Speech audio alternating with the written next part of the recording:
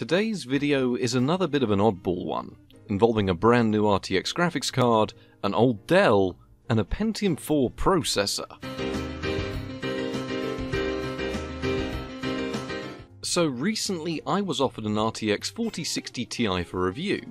Unfortunately, I had issues with my original review, lost footage, and a few other problems that made it exceptionally difficult to finish off. So I was looking around for inspiration because, I'll be honest, Palit did send me this graphics card, so I had to offer them something. Where eventually I headed up into the loft to see if there was any way I could salvage all this because it is a really nice little graphics card and I wanted to do it justice, just in a budget builds kind of way. Right, for this video we're going to need some assistance from a computer that hasn't seen a little bit of use in a while.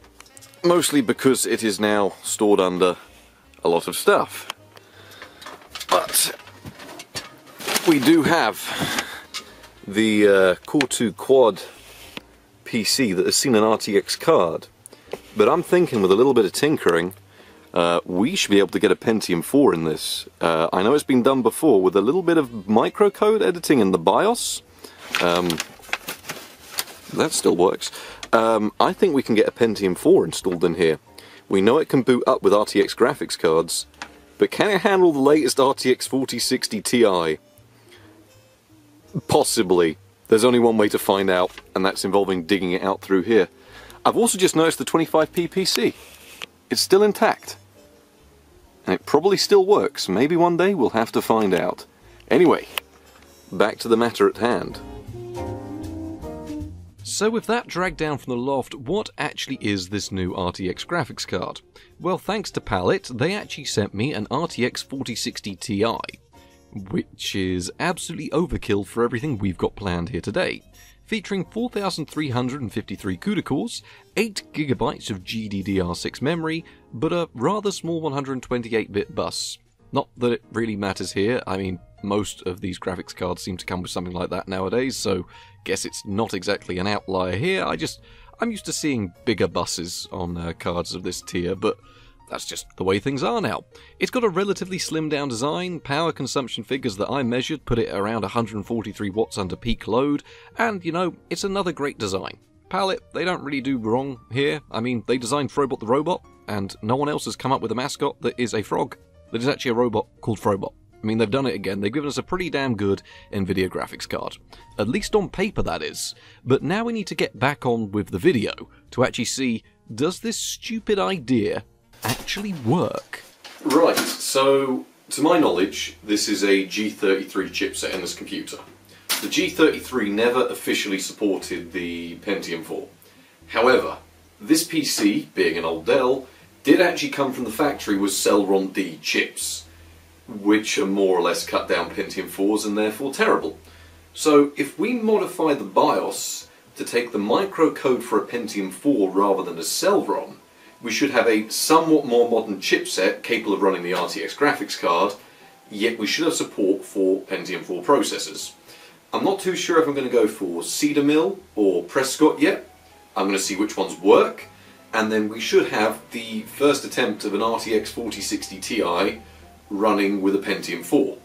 Now there are motherboards that do officially support the Pentium 4 on the G33 chipset, but these are exceptionally rare. There are a few videos on YouTube showing that it does work, which is kind of what gave me the idea.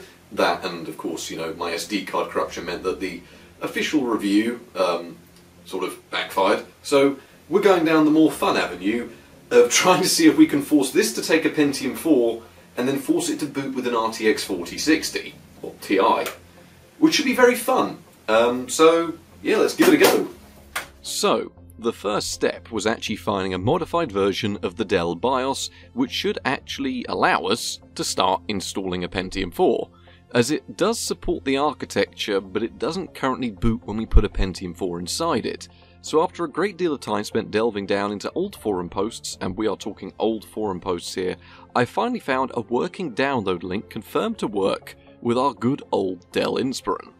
The next step was painfully, and hopefully flashing the BIOS into a state where it would work with the Dell and the ancient Pentium 4 we want to put into it.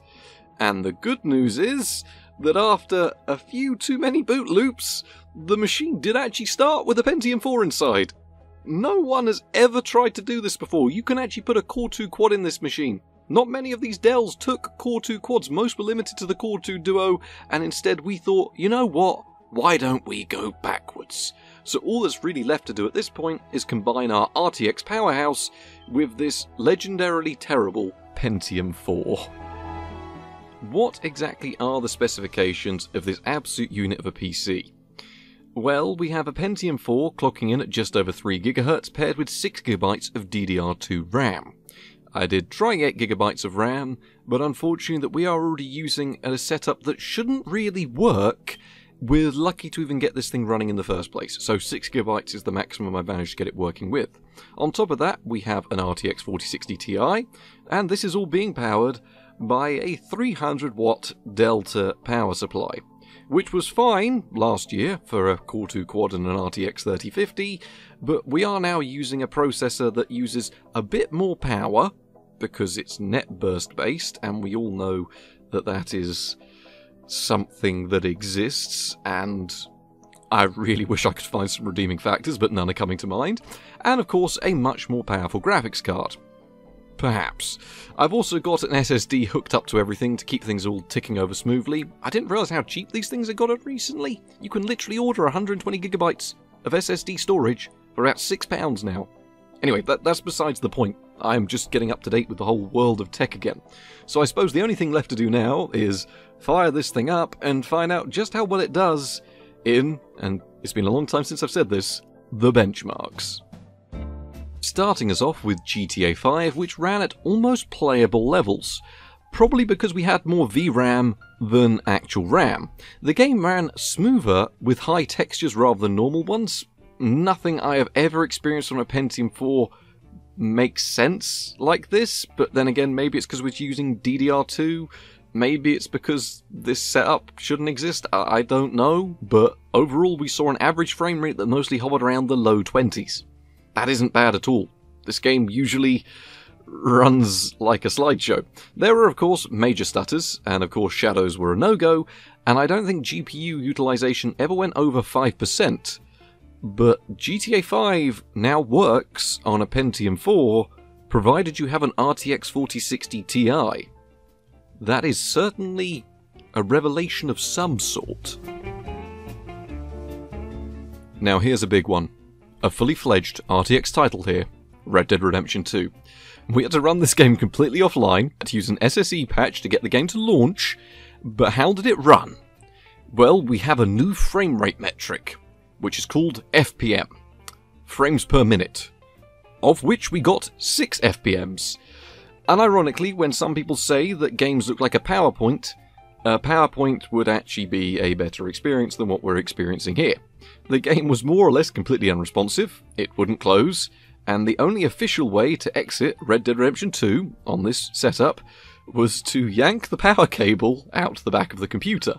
But if you ever wanted to see Red Dead Redemption 2 starting, it can do it. Which got me wondering, maybe we could do a Pentium 4 plus Matrox, was it C420? A Matrox Pentium 4 PC could. No, I'm getting carried away there. We'll move on to the next benchmark. Minecraft RTX was woefully unsuccessful. We saw a couple of frames here and there with the game set to the absolute minimum settings possible, but you're really pushing it with anything that isn't at least an older Core 2 quad or modern dual core. Shame really, as I'd hoped we'd just about eke out some playable experience, maybe something slightly, because the Core 2 Quad, that kinda ran it, almost. Fortunately, older versions of Minecraft do work, but we're talking Optifine era Minecraft here with mostly faster settings. I don't think the RTX 4060 Ti used any more power than it did at idle running this, but still, we saw something more than a slideshow as long as we ran an older version of Minecraft. Just no RTX features here, sadly. But most of you are probably thinking there's no way he'll get anything RTX to run. Nothing at all. That's not true. We saw the most success with Quake 2, yes, it's a 90s game, running with RTX enabled and a genuinely sort of playable frame rate. There were double digits in there. That's playable. That's what it was, that was what was classed as playable when it came out. So I'm just saying that. It was absolutely spectacular. There were, of course, hitches and slowdowns for moments, and occasionally the game could turn to a, a black screen at random intervals, but these aren't really issues to focus on. Just look at that real time ray tracing. Real time ray tracing being done with the Pentium 4. It's definitely the Pentium 4 doing that. Definitely not that RTX 4060 Ti that's incredibly actually quite powerful and a little bit impressive compared to what I'm used to, but still, Pentium 4, RTX, double digits. Not too bad. Smaller indie games like Project Zomboid did still work, but was struggling due to the furnace that is the Pentium 4. I really need a, a, word count on how many times I said Pentium 4 at this point. But either way, you could see the occasional playable frame rates, but it was rare. Other indie titles like Don't Starve, they will work as long as you run them in netbook mode, but yeah, that's sort of what you're limited to in terms of uh, indie games and modern lightweight games, even with an RTX 4060 Ti. The Pentium 4 really is limited in its processing capabilities, but you can still push it here and there, and the RTX 4060 Ti does let you run higher resolutions than what you'd probably think you'd be able to run. In fact, running at a higher resolution helped take some I'd say it helped take some load off the Pentium 4, helped balance them a little bit more, leading to a smoother frame rate in those indie titles. So, in some ways, yes, you do see a performance increase using a 4060 Ti, which is something. I did, however, fire up some proper classics, giving us the opportunity to ask, can it run Crysis? And yes, actually, with a mixture of high settings that allowed the RTX graphics card a chance to do something we'll go with that. And lower settings to prevent the Pentium exploding or catching fire or doing whatever it is that Pentium 4s do. We saw a decent looking experience that hovered anywhere between 10 to 25 FPS, which is not bad by any means. Last time I tested this, I think it was with an X800, and we were lucky to see those kind of frame rates with all low settings.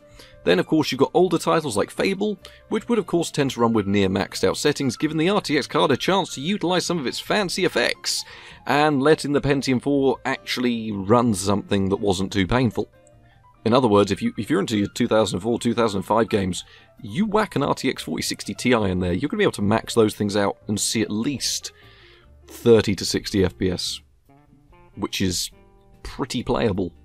Yeah, we'll go with that one. Pretty playable. Now, I don't really have much of a direct comparison given that I didn't really standardize the testing across these machines. But as far as these things go, we do have a bit of a comparison with a normal Pentium 4. And of course, it was the same system, but with a Core 2 quad, a different RTX graphics card, but still a nice Palit RTX one, so there's that. And we're already bottlenecking anyway, so that's gonna help at least standardize them a bit. Overall, from what we can see, there was actually a bit of a performance uplift when using the RTX graphics card and the Pentium 4. That is, of course, compared to the last time I benchmarked one, which was running with an R9 Fury, and similar specifications. I think it was a gigabyte motherboard, but similar amounts of RAM, etc. Still, at the end of the day, the performance increase was noticeable. It was dramatically slower than the newer Core 2 Quad, but when you compare a 2015 flagship like the R9 Fury running with a Pentium 4 to a 2023 mid range nice performance RTX card with the same Pentium 4, you do get more performance. And that is impressive that we can still push the Pentium 4 further. I didn't think we could do it, but we have. And that's certainly something in 2023.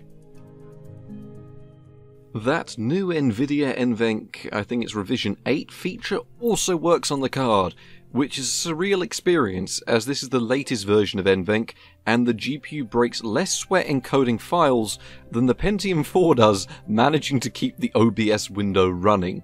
I did record just a little bit of footage for you, and it was surprisingly usable.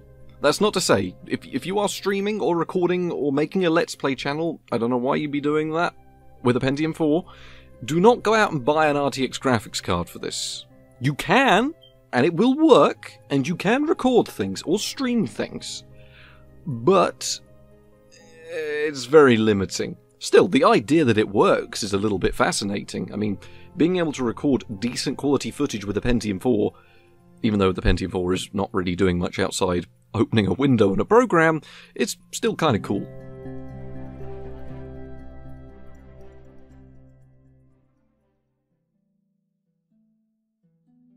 So that there about brings us to the end of the Pentium 4 and RTX experience, and I hope you enjoyed the lengths I had to go to in getting this to work. At the end of the day, it would have been easier to just refilm the normal review. I mean, it was a decent card. I actually can't fault it at all, and the Palit variant is very good. It didn't overheat, it uses very little power, it's got a very little footprint in your PC. I mean, not every card needs to be massive. These cards don't use loads of power. It doesn't need to take up three slots and have multiple fans. They've done a nice job designing it. It's practical, it's simple, I like it. That's all the graphics card needs to be. But what have we done? We've learnt that it can improve the Pentium 4 experience. And two, we've also learnt how you even begin to get them working together. So a big thank you for Palit for allowing me the chance to make this video. At the end of the day, they have made a very nice card, so if you are in the market for a nice RTX 4060 Ti and Frobot the Robot's glorious creators over at Fro- uh, Frobot? Over at Palit, sorry, have only gone and done it again. So thank you very much for watching, and good night.